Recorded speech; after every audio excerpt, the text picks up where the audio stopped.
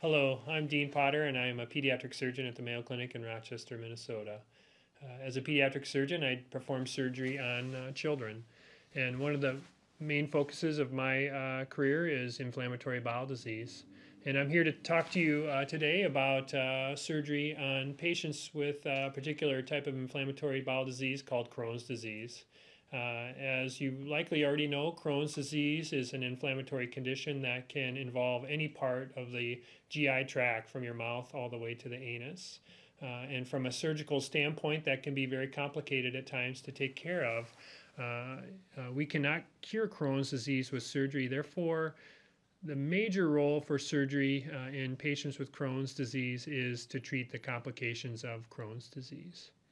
Uh, so, um, for example, uh, there are really three major areas that we take care of from a surgical standpoint in patients with Crohn's disease. And the most common area is the ileum or the distal small bowel. And in general, we refer to this as ileocolonic Crohn's disease. And there are really two main complications that happen with patients with ileocolonic Crohn's disease. And the first is uh, stricturing disease. Uh, so if the medications aren't c- controlling the disease, or maybe you haven't uh, you had a late diagnosis of Crohn's disease and there's already a stricture present and you have a bowel obstruction.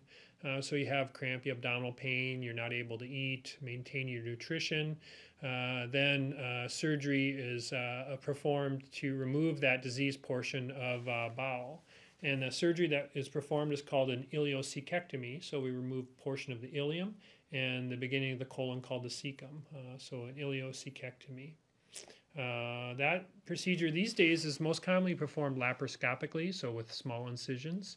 Uh, and in general, if you are healthy enough, your nutrition uh, status is good enough, uh, then we can put the two ends of the bowel together, uh, the ileum to the colon, and you don't have to have an ileostomy.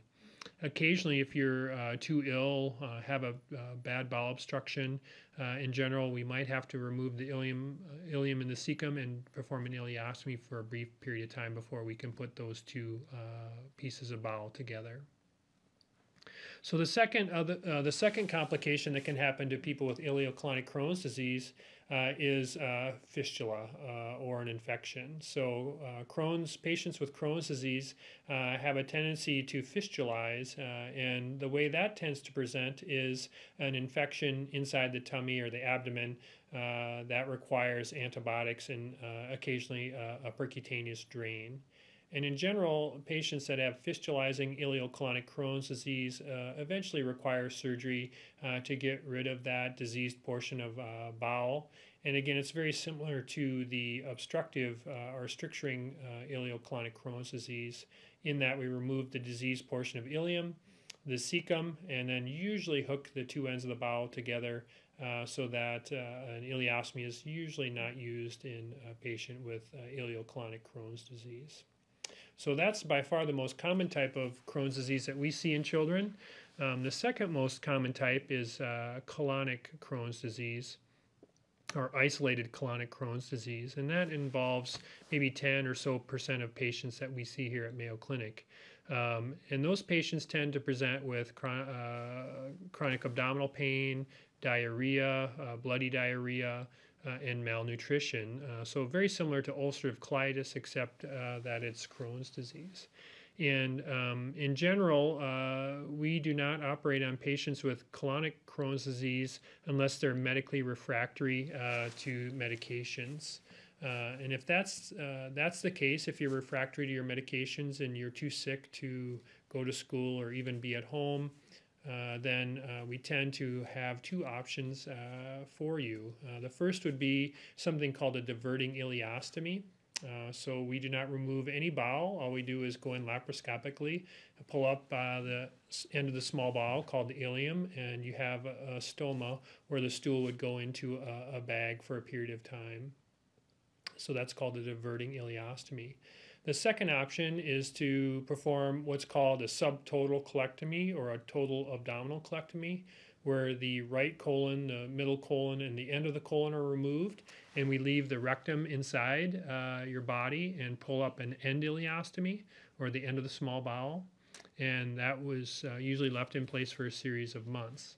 And we've looked at patients with uh, our children with uh, colonic Crohn's disease here at Mayo Clinic, and we've compared the diverting ileostomy patients to the patients that had a, a colectomy with ileostomy. And despite the colectomy with ileostomy being a bigger operation, uh, patients tend to do better uh, after removal of that diseased colon. Uh, their pain goes away, uh, their anemia or low blood level improves, and their nu- nutritional parameters improve. Whereas uh, uh, patients with a diverting ileostomy tended to remain anemic longer, their nutritional status didn't improve as quickly. So, in general, we tend to prefer, prefer the colectomy with and ileostomy. However, that's a decision that's made uh, between uh, the family and a gastroenterologist and the surgery team to see what's best uh, for each patient.